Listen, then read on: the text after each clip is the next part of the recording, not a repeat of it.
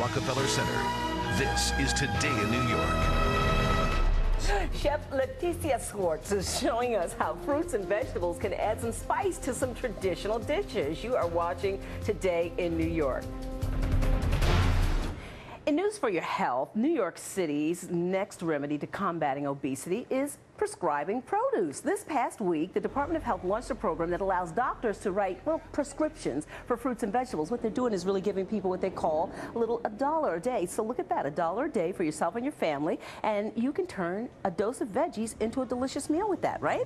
So Chef Leticia Schwartz is here. She's going to help us do just that. Glad to have you here this Thank morning. you so much for Thank having you. me. Thank you for coming in. And this program's underway in the South Bronx and in Harlem, as you probably well know, two neighborhoods that have a very strong Hispanic presence. Right. And you work with community groups in Harlem. Tell That is correct. I have a personal history with uh, with diabetes. Mm-hmm. Uh, my grandfather died of Oh. complications from type 2 diabetes, so I know how serious the disease can be. Mm-hmm. And the Latin community in this country is at a high risk for type 2 diabetes. Mm-hmm. And the thing is, as a Latina myself, I'm from Brazil, Mm-hmm. we're very attached to our traditional recipes, Yes. our ingredients, You right? it, uh-huh. Right? But as a chef and cookbook author, I also know that it is possible to make small changes that can help you live a healthier lifestyle. And that's why I'm partnering with Merck on this very important campaign called Mm-hmm. Cuida tu Diabetes, Cuida tu Corazón, that empowers our Latin community Mm-hmm. to take control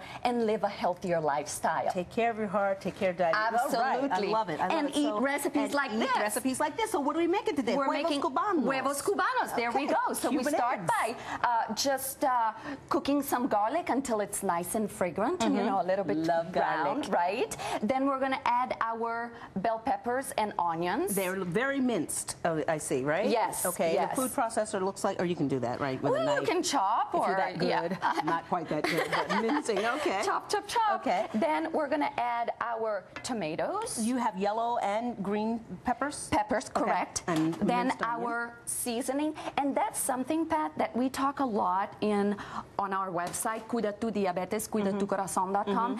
When you add, like I'm doing here, herbs and spices, Mm-hmm. you can help decrease the salt in exactly. your, you know. Flavor, it's, the- right, instead of salt. There you go. What, now, what all are you using? I saw some So, paprika. some paprika, some cayenne, a little bit of salt and pepper, some um, parsley, and then we're going to moisten up everything with some chicken stock. Chicken stock, And that's okay. another tip that's on our website as well. Cuida tu diabetes, cuida tu corazon.com. Okay. okay, instead of using butter, as so many of us like to do, just to you keep it moist, you can add a little chicken stock. There you go. Okay. And then after this is done, it's going to look something like this. Mm-hmm. And what we do is we create just, you know, kind of like a a little, four little holes here. How long are you that cooking we're that, gonna- Chef Leticia? So we're going to put this in the oven How long for. is- how this long is that until, gonna take? Until this until it's like soft and, and mushy, maybe three to five minutes. okay, Okay. okay. Mm-hmm. And then we're going to just uh, lay our eggs like that. You can Oh, help me. Sure- I'd love to help Yeah. you. Each one egg goes in a little space. You create Yep. a space for your eggs. There you go. And then we bake this in the oven at a 350 degree Okay. for about 10 to 15 minutes. I got to make a space. I, Okay, I, make my- this, this yeah, I space here oh, that's perfect. Okay. until Very it's good. nice and done. Okay. And then we have something like this, Beautiful. and also some roast vegetables. Now, you said you're going to cook it for about 10, if you like your eggs a little on the softer side. How do you like go- your eggs? Uh, I like egg white cooked hard. Okay. Very cooked- okay. Well so done. Put it maybe 15 to 20 minutes. Okay. Okay. All right. And then we also have some roast vegetables with creamy garlic Now, sauce. did you make the garlic sauce yourself? or- We did. We did. I did. I did it all. And and what this is is the perfect type of family to eat together mm. as a whole as a whole family. That's another tip that we have on our website also. Cuida tu diabetes, cuida tu mm. corazón. And it's delicious. Everything, it's delicious. And thank you so much for keeping us Thank healthy. you. And you can get more of Chef Leticia's classic Latin recipes in her cookbook. It's called The Brazilian Kitchen, right there on your screen. Thank you so much for coming in. Thank you for having me. and it's delicious. Love cauliflower. We're coming right back.